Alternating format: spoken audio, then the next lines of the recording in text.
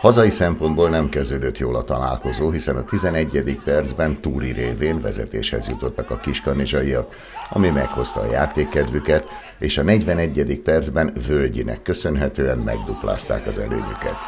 Ám még a félidő lefújása előtt szépített a zöld-fehér gárda karakai mesteri szabadrugás góljával. A második 45 percre feljavult a hazaiak játéka, a Hévíz uralta a találkozót és sorra vezette támadásait. Ezek egyikéből Sabján lőtt szép gólt a 60. percben.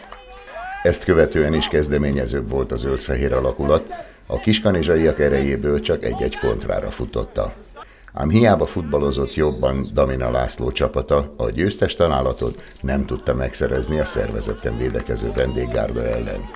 A Hévíz az eddigi hat játéknapon kilenc pontot gyűjtött, és jelenleg a negyedik helyen áll. Eredmény sorában két győzelem, három döntetlen, és mindössze egy vereség szerepel. Folytatás vasárnap 16 órától, a jelenlegi második Semjén háza otthonában.